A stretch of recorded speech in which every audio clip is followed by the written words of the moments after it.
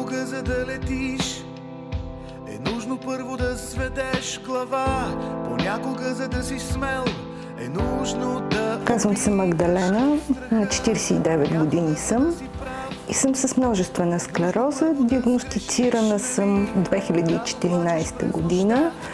Тогава ми беше направен ядрено-магнитен резонанс. Невроложката каза, че тази болест според нея се развива поне от 15 години. Симптомите, които мога да определя като невидими, това са замаяност, проблемите с зрението, когато пред очите ти се появяват или цветни петна, които се движат, или а, има едно сливане на образите или дори подскачане на обстановката околната, а, което просто принуждава, ме принуждава да легна, да затворя очи, за да може да отмине. В повечето случаи се движа ръка за ръка с мъжа ми, за да може да не пострадам като падна, защото обикновено падам по лице. Тоест липсват и рефлексите, които са защитните. След като се появиха симптомите, най-вече тези, които ми пречеха, това е тремора на ръцете и нестабилната походка и тази невъзможност да стоя дълго време седнала или права, наложиха да си остана в къщи, така че да работя от вкъщи, което не е невъзможно за счетоводител. Така или иначе с мъжа ми работим цял живот, винаги сме заедно. От години поддържам и един сатиричен блог. Първата книга, която написах, аз мислех, че ще е единствената. Три години след диагностицирането, издателят ме попита дали мога да направя трилогия. Продължих да пиша, две книги вече са издадени, сега третата подготвят за печат. Това е нещото, което ми запълва времето.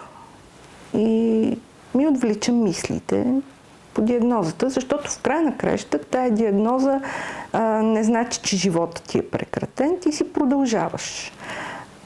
За разлика от човек без множествена склероза, тръгвайки някъде навън, за мен това си е а, голямо предизвикателство. Особено ако съм сама. Тогава става много по-трудно и доста по-рисковано. Така че аз трябва да преценявам какво разстояние мога да премина. И пак не е много сигурно. Но го правя, защото мога пък. Изтощаващо е това, че трябва да се преструваш, че си здрав. Тази диагноза също предполага и доста неудобства по отношение на съня. А, не, че се страда от безсъние, но човек може да спи в най-различно време. Тоест, докато хората спят през нощта, аз мога да, да не успея да заспя въобще да заспя с изгрева на слънцето и да спя някъде до 2 часа след обяд дори. Тоест, аз не мога да спазвам нормалния режим, обичайния за хората. Бих искала отношението на обществото към тази болест да бъде доста по-различно от сега. Защото ми се случи преди години едно падане между синагогата и халите при което просто се строполих на улицата, скъсах ниско, садския болезнено. Аз не можех да се изправя. И край мен минаваха хора. Те просто ме гледаха любопитно и продължаваха. А, аз нищо не можех да направя.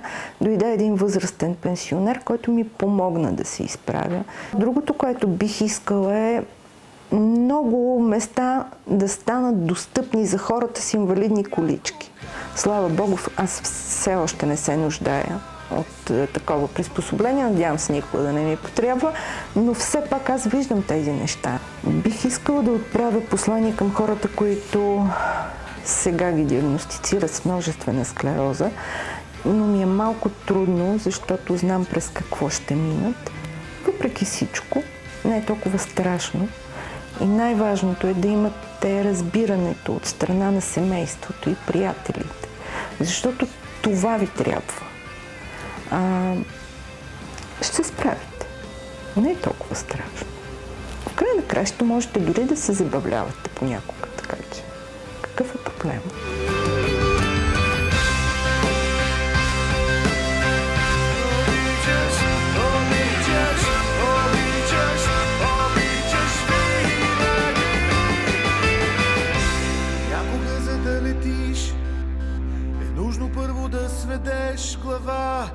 Когато мразиш от душа, спомни си, че обичал си и ти.